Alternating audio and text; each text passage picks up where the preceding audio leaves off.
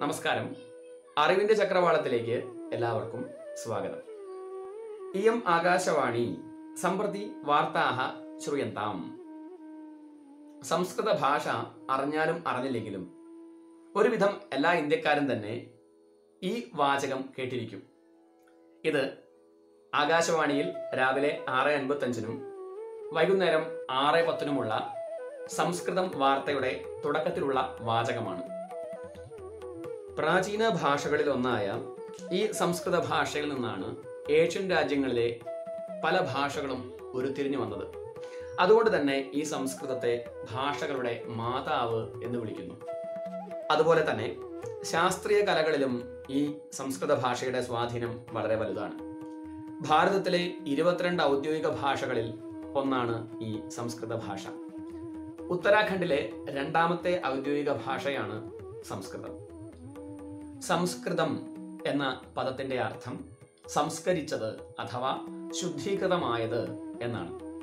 സുസ്ഥിരമായ വ്യാകരണത്തിന്റെ അടിസ്ഥാനത്തിൽ ഏറ്റവും ശുദ്ധീകൃതമായത് എന്ന അർത്ഥത്തിൽ സംസ്കൃതം എന്ന് ഈ ഭാഷയെ വിളിക്കുന്നു. അതുകൊണ്ടാണ് ലോകത്തിൽ ഇന്നുള്ളതിൽ ഏറ്റവും വ്യക്തതയുള്ള ഭാഷ എന്ന് സംസ്കൃതത്തെക്കുറിച്ച് അമേരിക്കൻ ബഹിരാകാശ ഏജൻസിയായ നാസയിലെ ഗവേഷകനായിരുന്ന റിക് ബ്രിക്സ് പറഞ്ഞത്. ദേവഭാഷ സുരവാണി ഗൈർവാണി സുരഭാരതി എന്നൊക്കെ ഈ ഭാഷയ്ക്ക് നാമാന്തരങ്ങളുണ്ട്. ചുരുക്കി പറഞ്ഞാൽ ശ്രേഷ്ഠമായത് എന്നേ ഈ പറഞ്ഞതിനൊക്കെ അർത്ഥമുള്ളൂ.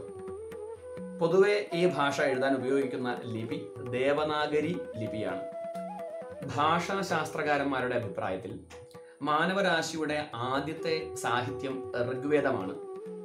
ഈ ഋഗ്വേദം സംസ്കൃത ഭാഷയിൽ ആണ്.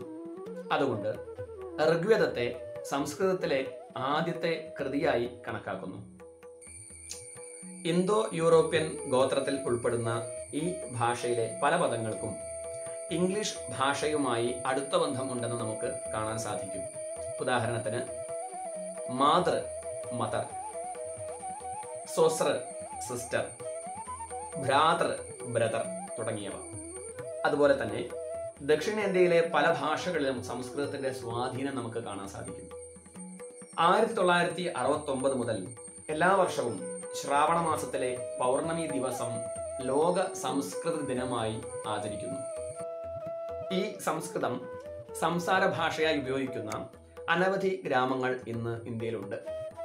കർണാടക സംസ്ഥാനത്തിലെ ഹൊസഹള്ളി മത്തൂർ എന്നീ ഗ്രാമങ്ങൾ ഹിമാചൽ പ്രദേശിലെ ഝിരി ബഖുവാർ മോഹദ് എന്നീ ഗ്രാമങ്ങൾ. അതുപോലെ രാജസ്ഥാനിലെ ഗനോഡ എന്ന ഗ്രാമം. ഇവിടങ്ങളിലൊക്കെ കൊച്ചു കുട്ടികൾ മുതൽ മുതിർന്നവർ വരെ സംസാരിക്കുന്നത് വ്യവഹരിക്കുന്നത് ഈ ഭാഷയിലാണ്. നമ്മുടെ കേരളത്തിലെ തിരുവനന്തപുരത്തുള്ള കരമന എന്ന ഗ്രാമവും തൃശൂരിലെ ചെമ്മണ്ട എന്ന ഗ്രാമവും സംസ്കൃത ഗ്രാമമാവാനുള്ള തയ്യാറെടുപ്പിലാണ്. സംസ്കൃത ഭാഷയിലുള്ള ആദ്യത്തെ ദിനപത്രമാണ് സുധർമ്മ. കർണാടകയിലെ മൈസൂരിൽ നിന്നാണ് ഈ പത്രം പ്രസിദ്ധീകരിക്കുന്നത്. സംസ്കൃത ഭാഷയിൽ നിരവധി ചലച്ചിത്രങ്ങളും നിർമ്മിച്ചിട്ടുണ്ട്. ആയിരത്തി തൊള്ളായിരത്തി എൺപത്തി മൂന്നിൽ ഇറങ്ങിയ ആദി ശങ്കരാചാര്യ എന്ന സിനിമ ആയിരത്തി തൊള്ളായിരത്തി തൊണ്ണൂറ്റി മൂന്നിൽ ഭഗവത്ഗീത എന്ന ചലച്ചിത്രം രണ്ടായിരത്തി പതിനഞ്ചിൽ പ്രിയമാനസം എന്ന സംസ്കൃത സിനിമ രണ്ടായിരത്തി പതിനാറിൽ ഇഷ്ടി രണ്ടായിരത്തി പതിനേഴിൽ സൂര്യകാന്തഹ എന്ന ചലച്ചിത്രം രണ്ടായിരത്തി പതിനേഴിൽ അനുരക്തി എന്ന സംസ്കൃത സിനിമ. ഈ അനുരക്തി എന്ന സംസ്കൃത സിനിമയ്ക്ക് ഒരു പ്രത്യേകതയുണ്ട്. ഇത് ആദ്യത്തെ ത്രിമാന സംസ്കൃത ചലച്ചിത്രമാണ്. ത്രീ ഡി ഫിലിം ആണ്. രണ്ടായിരത്തി പതിനെട്ടിൽ പുണ്യകോടി എന്ന സിനിമ. ഇത് ആദ്യത്തെ സംസ്കൃതം ആനിമേഷൻ ചലച്ചിത്രമാണ്. രണ്ടായിരത്തി പത്തൊമ്പതിൽ കുട്ടികൾക്കായി മധുരസ്മിതം എന്ന ചലച്ചിത്രം. ഇങ്ങനെ നിരവധി ചലച്ചിത്രങ്ങൾ സംസ്കൃത ഭാഷയിൽ ഉണ്ട്. സംസ്കൃത പഠനം കൂടാതെ ആരും യഥാർത്ഥ ഭാരതീയനാവുകയില്ല എന്ന മഹാത്മജിയുടെ വാക്കുകൾ ഓർമ്മിപ്പിച്ചുകൊണ്ട് നിർത്തുന്നു. സംസ്കൃത ഭാഷയെക്കുറിച്ച് നിങ്ങൾ നേടിയ അറിവുകൾ കുറിച്ചു വയ്ക്കുക. വീണ്ടും മറ്റൊരു വിഷയവുമായി അറിവിന്റെ ചക്രവാളത്തിൽ കാണുന്നതുവരെ നന്ദി നമസ്കാരം.